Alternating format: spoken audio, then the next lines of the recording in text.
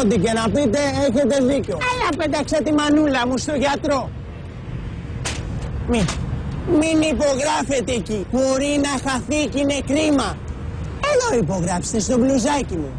Θα κάνετε φρρ να σας ακούσω. Εχ, φανταστικέ, τροχονόμε.